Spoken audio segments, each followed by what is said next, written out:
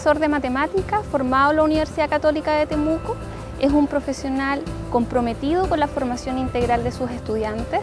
que posee competencias matemáticas, didácticas y pedagógicas que le permiten diseñar e implementar innovaciones a nivel de aula para desarrollar habilidades matemáticas y generar aprendizajes profundos en sus estudiantes de enseñanza media. De mayor dificultad, menor dificultad, pero siempre centrado en lo pedagógico.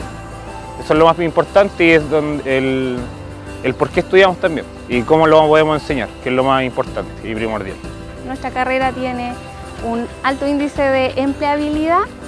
eh, que supera el 90%. Nuestros egresados están trabajando en establecimientos educacionales de Temuco, de las comunas aledañas, de la región, pero también han emigrado a otras regiones del país.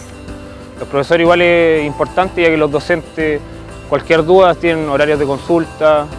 eh, tienen plataformas donde uno puede comunicarse con ellos y ellos siempre están dispuestos y es lo, importante y lo agradecido también de, los profesores que, estudian, que trabajan en, la, en esta institución. Es una carrera que genera desafíos en un profesor, dado que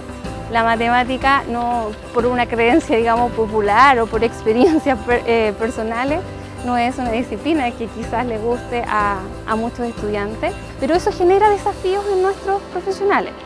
genera desafíos en nosotros como, como carrera, que forma profesionales eh, en el ámbito de educación matemática y también genera eh, desafíos a nuestros estudiantes y nuestros egresados.